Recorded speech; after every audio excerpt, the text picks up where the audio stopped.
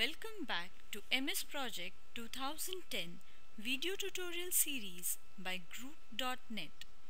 In lesson 3.7 we see how to check the plan duration.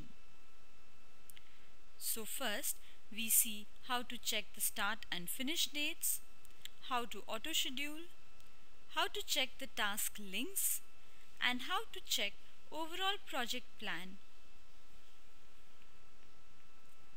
For this tutorial, you can use the sample project prepared at the end of lesson 3.5 available on grook.net.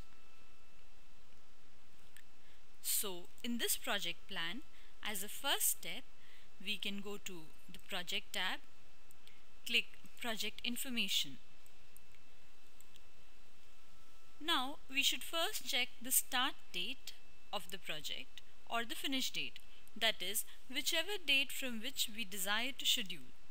If we know the start date and we want to schedule from the start date, we can enter the date here. If we are not sure about the start date but we know that what is the date at which the project has to be finished, then you can say schedule from project finish date and enter the date here. For our purpose, let us take project start date and let us put a back date for the project so that it is easier for us during tracking. The current date will automatically be shown and we can click OK.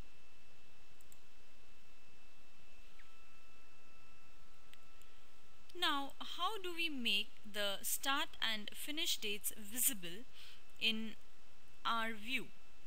We can go to add new column and choose start to make the start dates visible. And we can go to another add new column and click finish to make the finish dates available. Let us hide this column in between. Okay. So right now you will see that the start dates for each of the activities is shown as the first date of st project starting that is 5th of December and the finish dates are all just the durations added to the start date. This is happening so because we have not yet scheduled the project. So the next step is to schedule the project or let MS Project calculate the finish and start dates for each of these tasks. For that we can select all the tasks. Go to the task tab. Go to the tasks sub tab and click auto schedule. You can see all the changes that have come by auto scheduling the project. Now if you see for the first task which is finalization the start date is the start date where, which we enter in the project information. The finish date is 20 days which is the duration added to the start date. Now one thing we can see here is that it is not just 20 days directly added here but 20 working days added as per the calendar that we have mentioned. Now the next activity which is signing contract we had defined a relationship as finish to start after finalization of plans. And it has a duration of one day. So if finalization of plans finishes on the 30th of December which is a Friday then taking the calendar into consideration it will take Saturday Sunday off.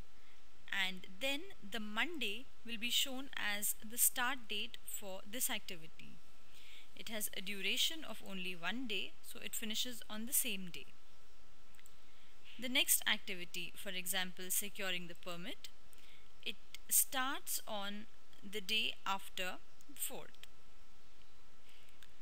If you see the bigger outline tasks, they show a summary of the start date for all the tasks under that and the finish date is the last day at which all the summary tasks will finish.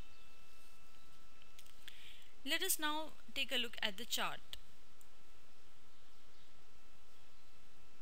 if you see now in the chart, for each of these tasks a bar is represented and finish to start relationships have started being defined here. The calendar is shown on the top with the Sunday, Monday, Tuesday marked and for each of these activities it shows that once this task is finished then only the next task begins. To see the entire project chart together you can right click on the time bar and you can say zoom and you can show entire project so the entire project will the start of the project to the end of the project will be compressed here and you can see the duration and link for all the tasks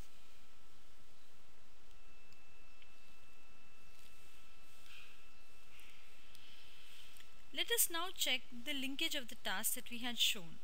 We had defined, wherever we had defined finish to start relationships, you can see that it is only after one activity finishes that the next activity starts. And now let us check the overall project plan. Within each task, let us say within general conditions,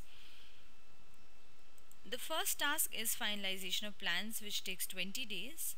The second task is signing the contract which takes one day and the signing of contract will start only after finalization of plans is over. So the summary task which is general conditions is shown as having a duration of 21 days which is 20 plus 1 and the start date is the start date of the first activity and the finish date is the finish date of the last activity.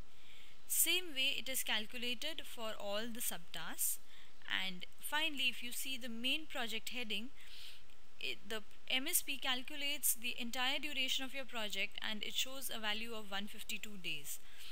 This includes the relationship between the various tasks, the actual working calendar with holidays that you have considered. So it gives the start date of the project and the final finish date of your project.